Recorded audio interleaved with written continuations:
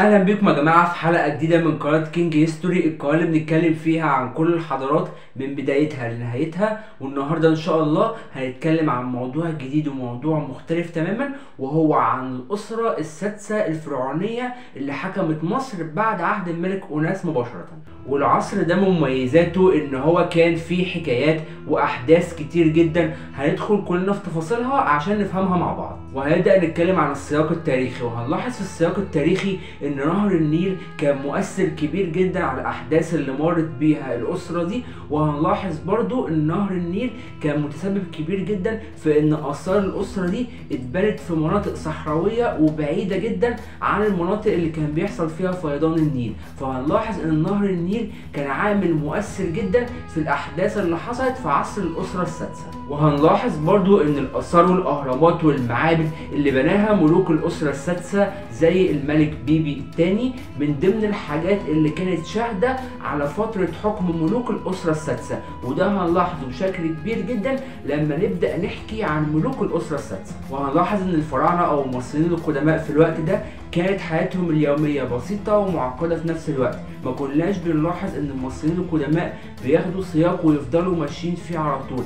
لا كانت حياتهم ممزوجة. بين الأمور البسيطة والأمور المعقدة. بالإضافة طبعا إن الشغل والاعباء اليومية كانت جزء من حياتهم طبعا بالإضافة إن الحرف والمهام اليومية كانت بتتقدم وكل حاجة في عصر الأسرة السادسة كانت بتتغير وبتتقدم للأحسن. وهنبدأ نتكلم دلوقتي عن الفرعون والحكم وهنلاحظ إن الفراعنة في العهد ده كان عندهم قوة وسلطة في الحكم بالإضافة إن الحاكم بجانب أمور الحكم اللي كان مسؤول عنها برضه كان مسؤول عن الشؤون الدينية وده هيوضح لنا بشكل كبير جدا قد إيه وظيفة الحاكم أو الفرعون في العهد ده كانت مهمة بشكل كبير جدا. وهنلاحظ طبعا في عهد الأسرة السادسة قد إيه الفراعنة كانوا بيحكموا بحكمة واستقرار وما كانش فيه أي فرصة لتدخل القوى الخارجية أو تدخل الفوضى جوه الدولة. ودلوقتي هنبدأ نتكلم عن الديانة والآثار وهنلاحظ طبعا في عهد الأسرة السادسة إن الديانة كانت حاجة مهمة جدا في حياة الناس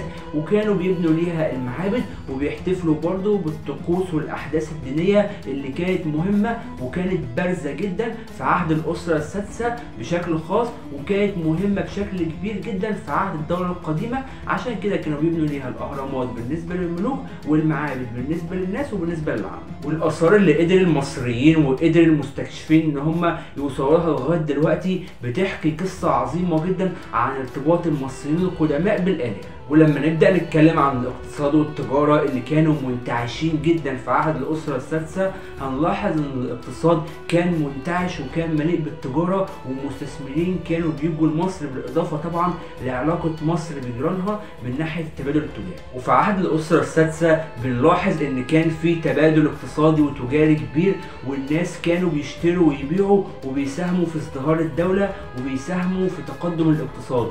وده طبعا هنلاحظه في النقوشات والكلام اللي كان مكتوب باللغة الهيروغليفية على الحيطان اللي كانت موجودة في المعابد.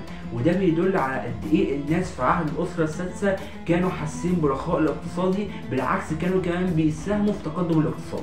ودلوقتي هنبدأ نتكلم عن الفن والتقنيات وهنلاحظ إن الفن والتقنيات في عهد الأسرة السادسة كان في تطور كبير جدا والحرفيين والفنانين كانوا بيتطوروا وبيبتكروا في كل حتة وفي كل شبر في أرض مصر. وهنلاحظ طبعا في عهد الأسرة السادسة إن الحياة الثقافية كانت مليانة بالفنون ومليانة بالأحداث الفنية اللي كانت مهمة جدا وكان المصريين حتى العامة اللي هم عامة الشعب كانوا بيهتموا بالأحداث دي. وكده يا جماعة نكون وصلنا لنهاية حلقة النهارده وإن شاء الله الحلقة الجاية اكمل كلامي معاكم وهنتكلم بالتحديد عن ملوك وأحداث وأعمال ملوك الأسرة السادسة وهتلاقوا كل اللينكات بتاعتي تحت في ال description ما تنسوش تعملوا like و subscribe وتفعلوا زر الجرس عشان يوصل لكم كل جديد.